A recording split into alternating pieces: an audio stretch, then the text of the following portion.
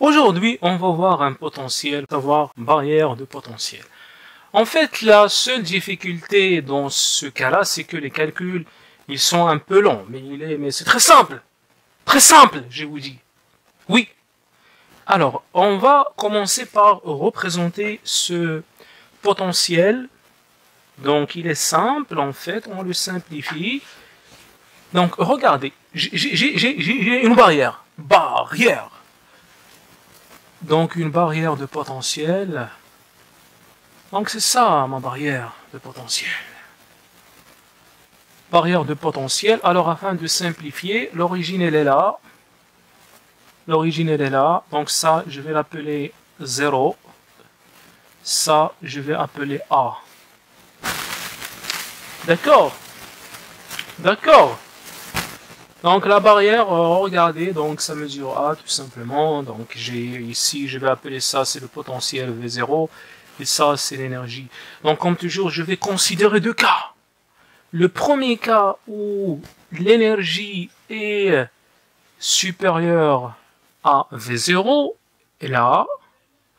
Et le deuxième cas où l'énergie est inférieure à V0. Donc, je vais d'abord commencer par le premier cas. Donc, premier cas. Donc, qu'est-ce qu'on a dans ce premier cas?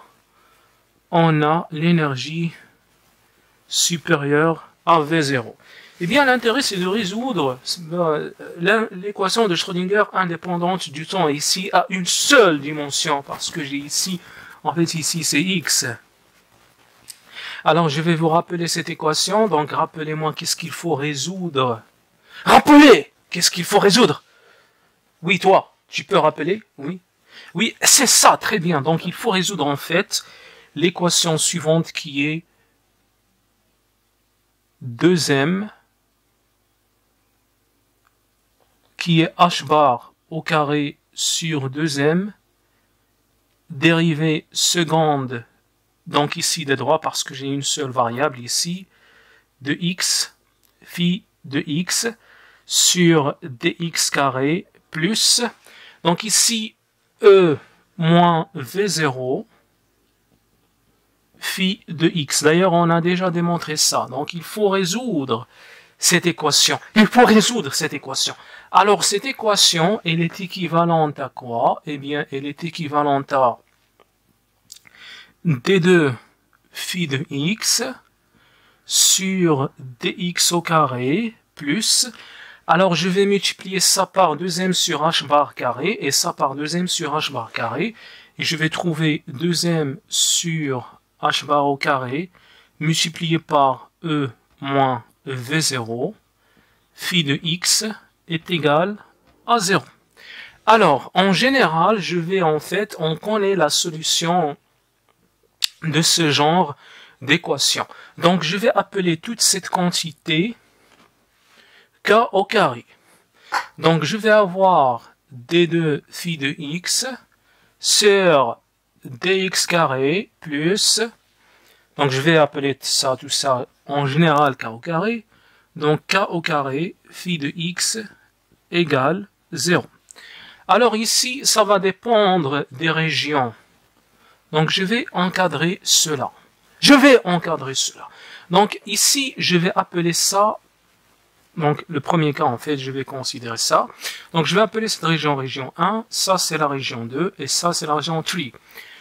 Après, euh, qu'est-ce que je vais faire? En fait, je vais à chaque fois donner la solution de l'équation de Schrödinger dans la région 1, dans la région 1, dans la région 2, et dans la région 3. Donc qu'est-ce que je vais faire? Je vais écrire région 1 En fait, en général, la solution de ce genre d'équation, c'est quoi?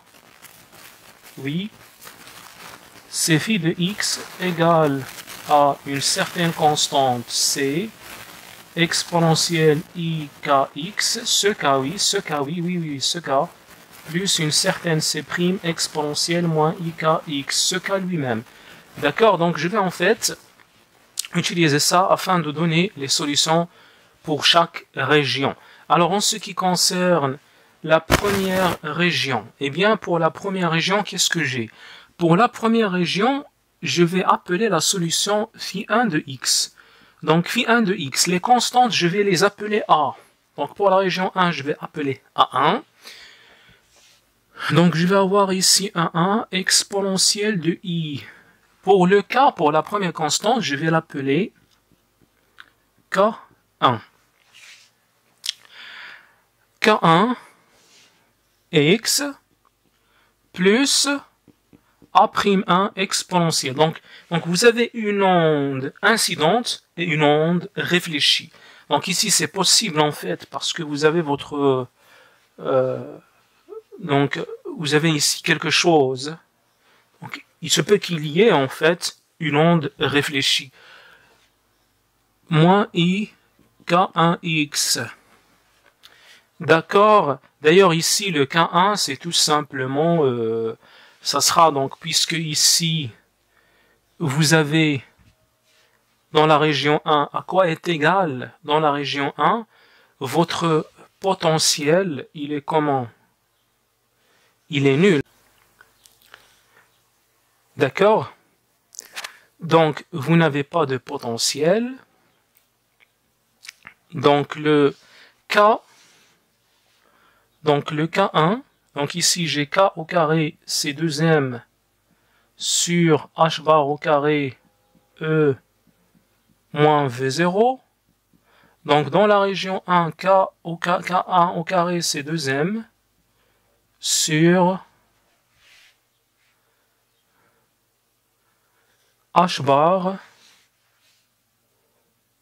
au carré multiplié par E. D'accord?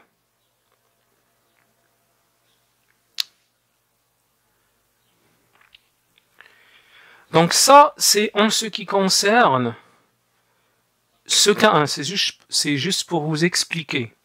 Maintenant, quand on est quand on est en fait dans la région 2. Dans la région 2, on a le V0. D'accord? On a un potentiel qui est le V0. Donc dans la région 2,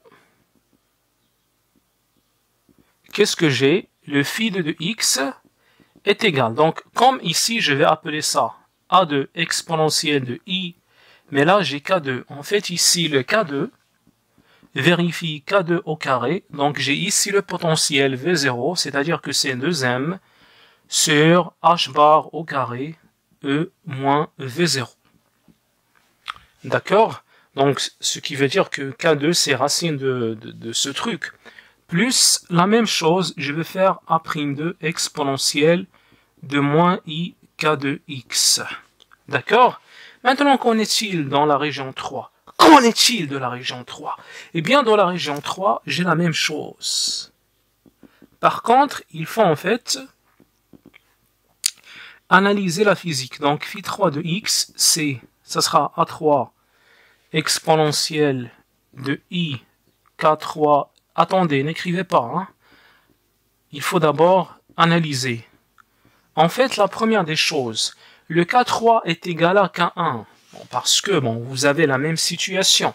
C'est-à-dire que k3 au carré, c'est 2m sur h bar au carré e. Donc, est égal à k1 au carré. Ce qui veut dire que ce K3, je peux le remplacer par K1. D'accord?